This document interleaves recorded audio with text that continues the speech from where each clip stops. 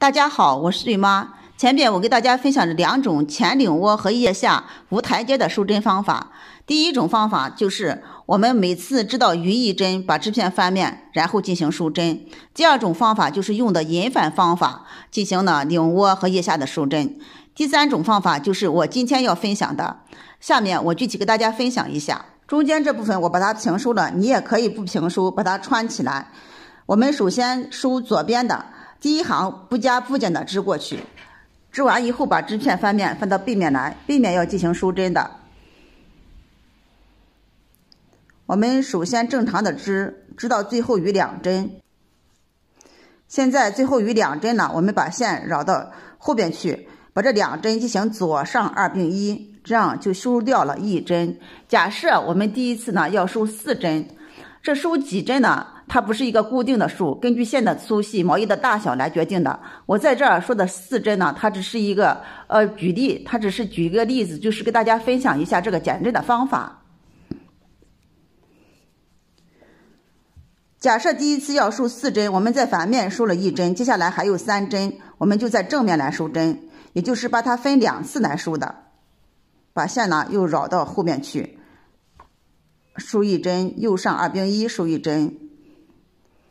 两针，三针，加上背面那一针就是四针了。接下来我们把余下的针呢正常的织过去，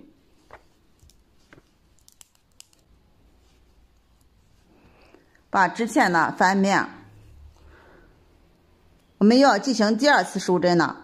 第二次假设我们收的是三针，我们还是在背面呢，首先收一针。左上二并一收一针，余下的两针我们在正面来收针，把线绕到后边去，进行右上二并一，这样收掉两针，和背面的加起来呢就是三针了。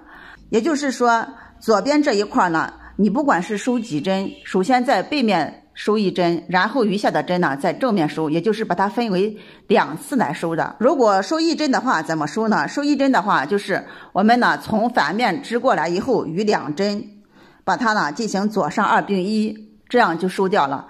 正面呢它是不用收针的，这就是左边的收针。接下来我就给大家分享一下右边的收针。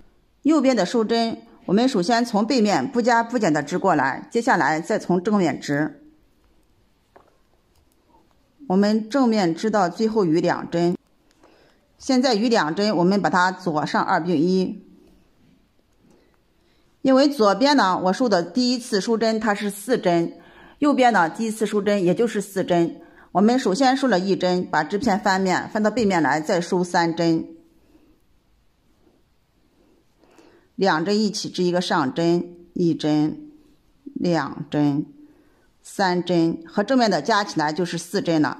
接下来我们正常织过去，再把织片翻面翻到正面来。